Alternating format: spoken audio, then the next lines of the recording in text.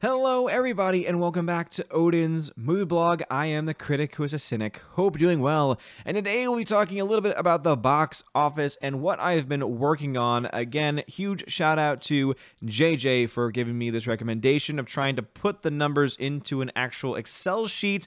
That way, it'll be a visual, visible representation for everyone to be able to see what I'm talking about. But also, it's able to keep myself on track as well, seeing that some of these websites, like the numbers, and of course, course, the you know rest in peace boxofficemojo.com are no longer offering the types of numbers that I used to have access to, and so now I'm just going to keep track of it myself because that way, as the weeks go on, I can track and see how well my projections are doing, and also how well the math itself holds up, and that way you also can see that as well to see just how far off the market is or how close to the market is, so that way you understand how these numbers work and whether they are reliable. And so the only two movies that I have so far, because they're the only two movies where I have the first two week total total, which again, as I've mentioned previously, is very important when determining how much a movie is going to make. Um, if you are able to find videos of the past of movies that I've done uh, where I talk about this is what it's made after the first two weeks, please feel free to contact me through email or Twitter or any of those social media platforms to say, hey, it's this video where you talk about the first two weeks of this movie try and add that to your list to see and show just how well it held up then to now. So if you are able to do that and help me out with that work, I really, really, really would appreciate that. But right now we have two movies to talk about, and that is Frozen 2 and Knives Out. I talked about Frozen 2 already because we are technically in the third week for Frozen 2, which means we can kind of track to see just how close it is to the minimum and maximum projections that I have for the film but we also have Knives Out by Rian Johnson. Now, notice that the movies that I have listed here are with international releases. So these are the only two films with international releases that I have the two week totals for at this point in time. I was going to add a movie called uh, Queen and Slim, but that only has a domestic total. And the reason why you have to have an international release is because all of the math and all of the figures that I've figured out for this formula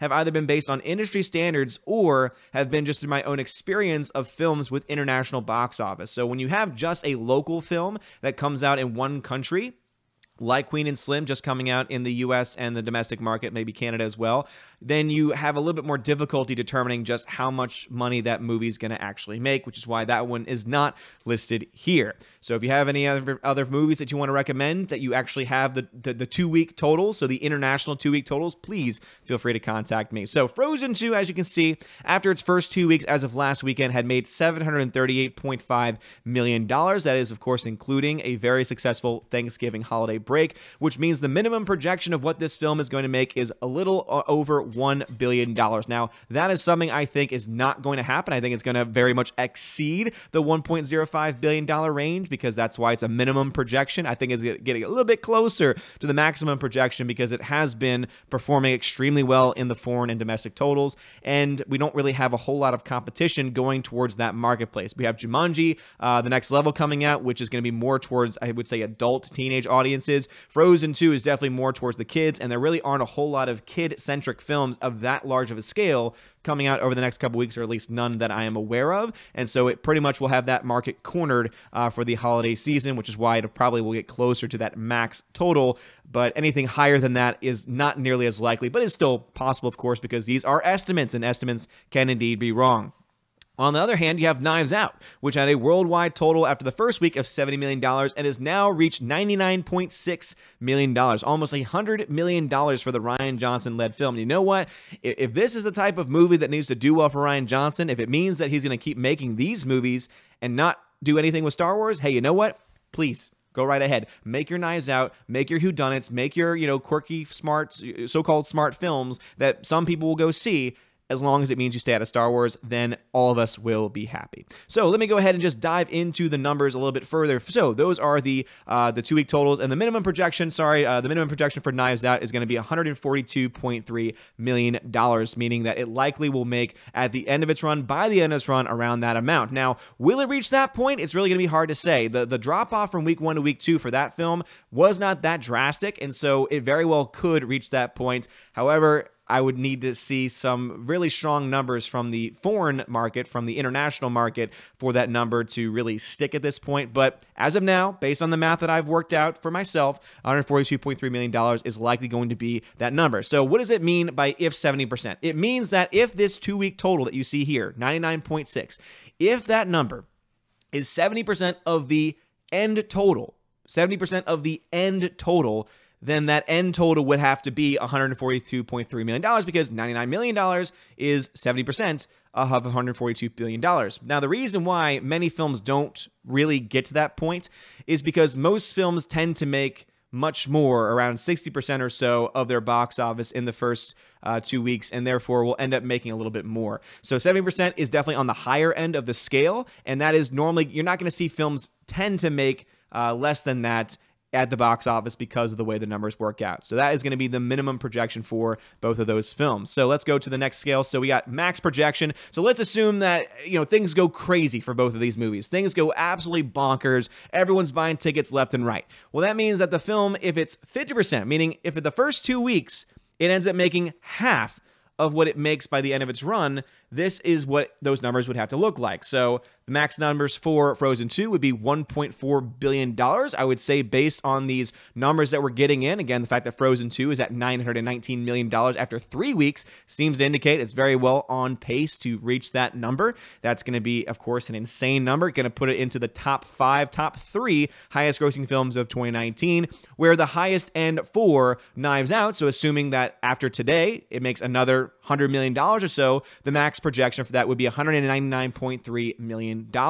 So as you can see, both of these films doing very well. The average, that would be the 60% range, which is normally the range that I go with, means for Frozen 2, it'll make around 1.26. So either make 1.26 or very close to it. I'm imagining it's going to be a little bit higher than the 1.26, again, closer to that mass max projection.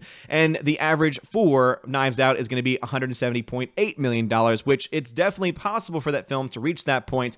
But something tells me that it'll probably get closer to that minimum uh, projection even though it's reached $100 million, I don't think that film is going to have a lot of legs, but of course, I could be wrong on that. But remember, when it comes to the box office numbers, the raw totals is not everything. There, there's more to the story than that, and that's why you got to talk about how much the film actually costs to make and to market. So the first story we have to talk about is the fact that we don't have any official numbers for Frozen 2.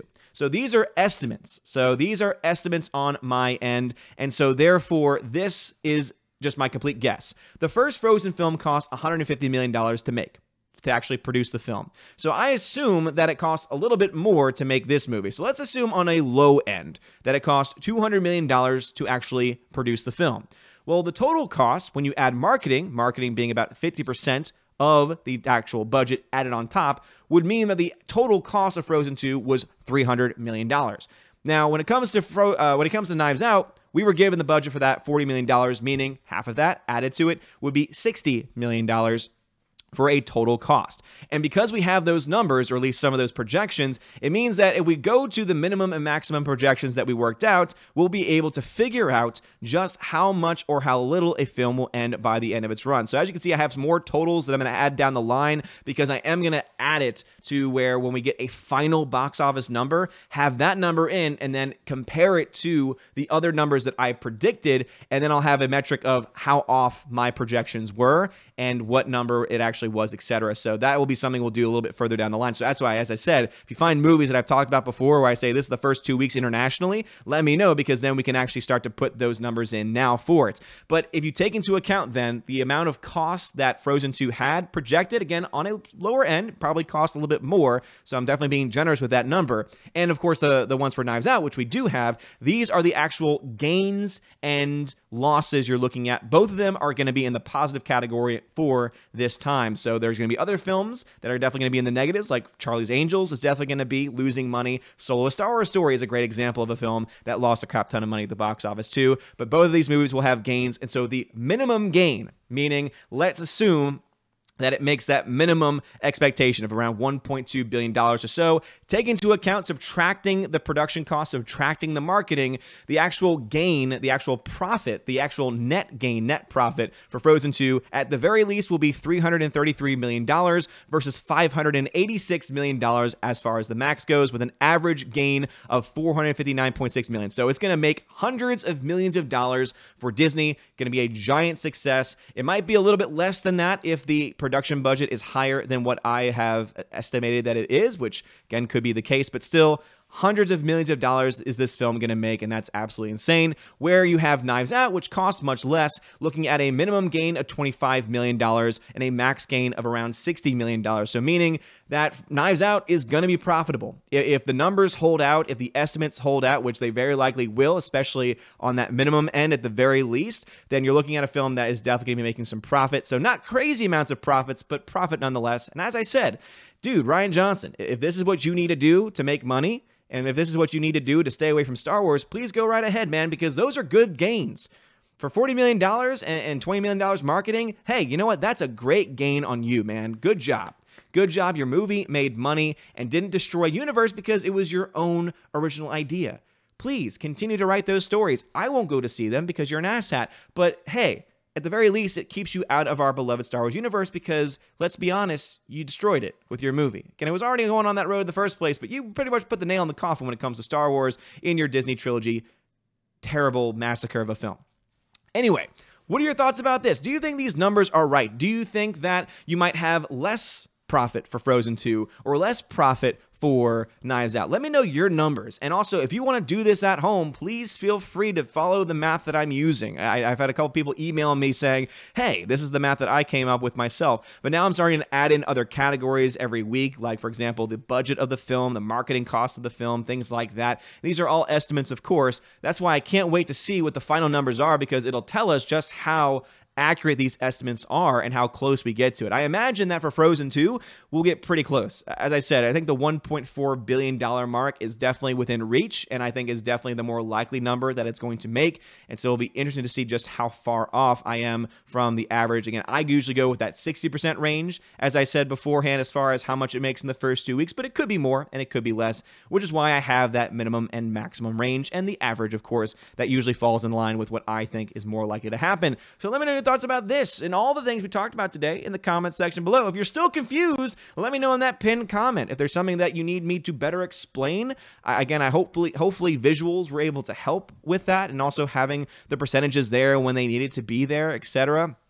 Hopefully that makes some sense. Obviously, I know not everyone loves math, but hey, I like talking about this stuff because I love talking about the box office because I'm a movie geek, movie nerd. Let me know your thoughts about this and all the things talked about. Comment section below. If you like this video, smash the like button, give me a subscribe. It helps me out a lot. You're all amazing and beautiful people. Have a wonderful day. And as always, God bless.